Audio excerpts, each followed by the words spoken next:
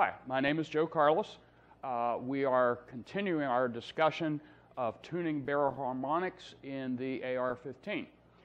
And the next technique that I'm going to uh, describe uh, has its genesis decades ago uh, when I was a young lad in my misspent, misspent youth hunting deer uh, back in the uh, woods of Pennsylvania during the 1960s.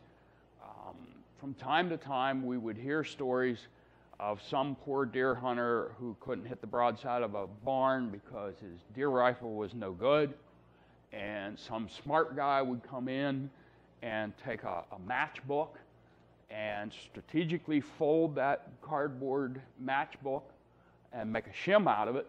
And he would either install that shim uh, right at the front of the barrel, at the, at the front of the stock, between the stock and the barrel, or he would install that shim uh, back right in front of the action uh, where the barrel starts.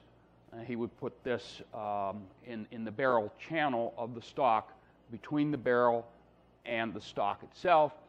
And magically, uh, the gun that uh, minutes ago wouldn't hit anything became a tack driver, and its owner uh, killed all kinds of deer, passed it on to his uh, sons and grandsons. They, in turn, killed all kinds of deer with this uh, accurized um, deer rifle. I never met anybody back in Pennsylvania in the 1960s who actually had done this. It was always third hand of this person's uncle or barber uh, heard of this um, uh, going on. My rifle shot okay, so I never messed with sticking cardboard shims uh, under, uh, under the barrel um, between it and the, and the stock. But uh, decades later, I happened to be reading this book, Rifle Accuracy Facts, by um, Harold Vaughn. And uh, he's a physicist uh, of some sort and a, a, truly smart guy. It's a good book. And um, he mentioned a technique similar to what I had heard back in the 1960s uh, in the Pennsylvania deer woods. And he called it the O'Connell bedding technique. And it used pretty much the same principle. And he said that that um, made bolt action rifles shoot much better. And I wondered if there was a way of adapting uh, these techniques to the AR 15. I gave it a little bit of study, and I found that actually the AR 15 is quite easy uh, to use this type of technique with because AR-15 shooters for national match shooting use these metal float tubes, they're called. Uh, it's actually just a, um, basically a piece of pipe with uh, a triangular handguard end cap on one end and the sling swivel and a, a barrel nut and, and delta assembly on the back end. And what that does is it goes over the match barrel, uh, leaving a little bit of gap between the barrel and this float tube. And then the handguards go over the top of it. And you can look at one of these rifles that, that has um, one of those um, inside of it. You'll never know it's there. The gun looks just like uh, a rifle in a military armory somewhere. The purpose of this float tube is um, a lot of shooters like to use uh, sling tension on their rifle to steady the rifle and to help counter recoil. If you do that with a gun uh, that has the sling swivel uh, attached to the front sight housing, such as this GI barrel, when you put that gorilla um, uh, sling tension on there, you're actually bending that barrel. And you don't have to be real strong. You don't have to be a weightlifter uh, to do that. so you're, you're changing your zero, you're, you're just messing everything up. Therefore, if you use this float tube and you put your sling tension on that, it does not have an influence on the barrel. So national match shooters use this uh, float tube under their handguards. And I simply wanted to be able to provide support under the barrel, just like the deer hunters back in Pennsylvania did with their matchbook shims.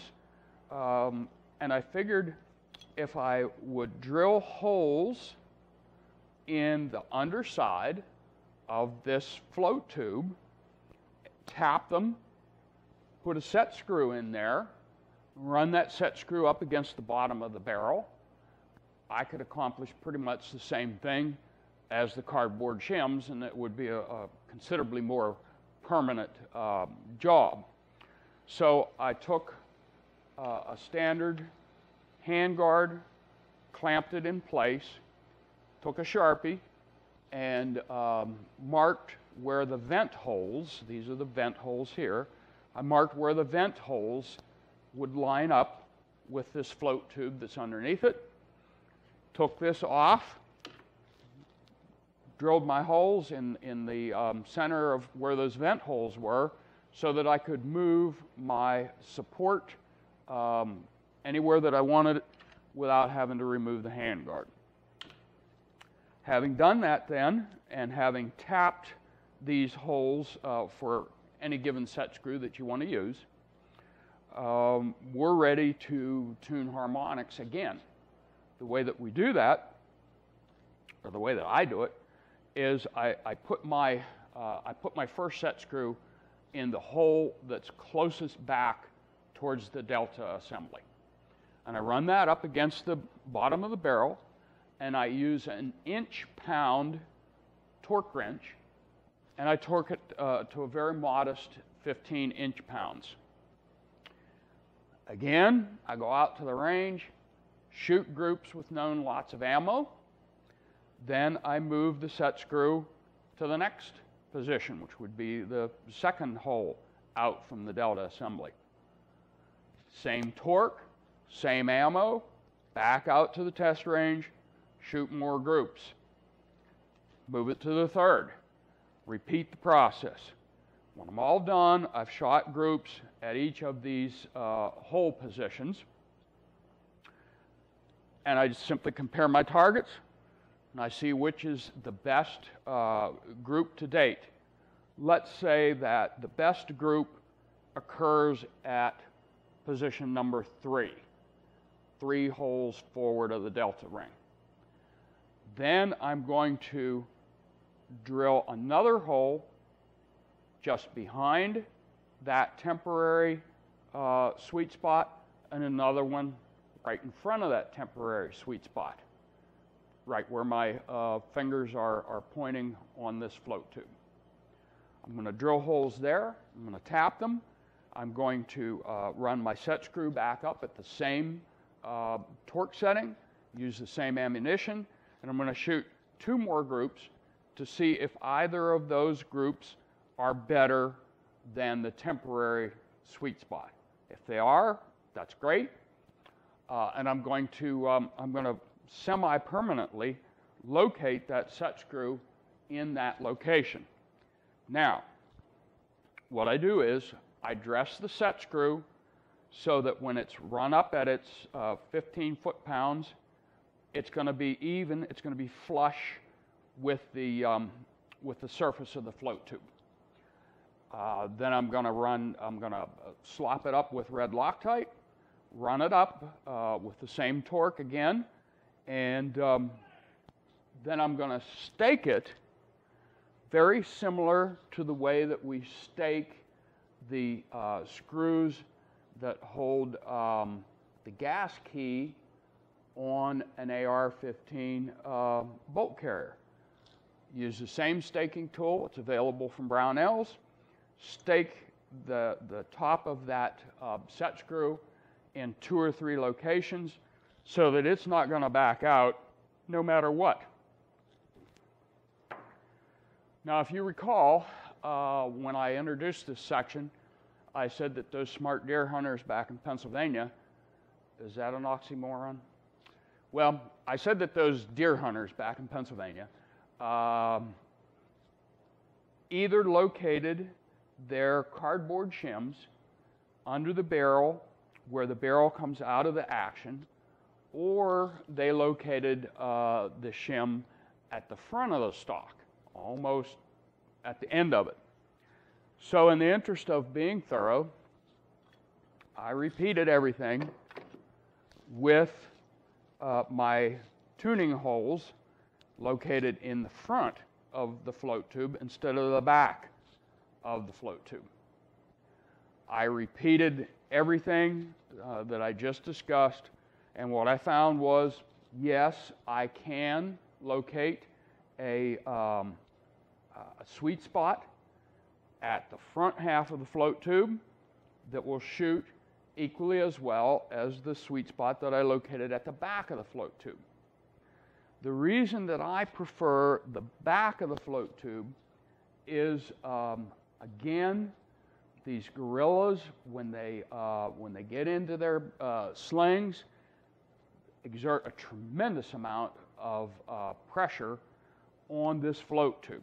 And they are bending this float tube somewhat. Hopefully, they're not bending it uh, clear down to where it contacts the uh, barrel.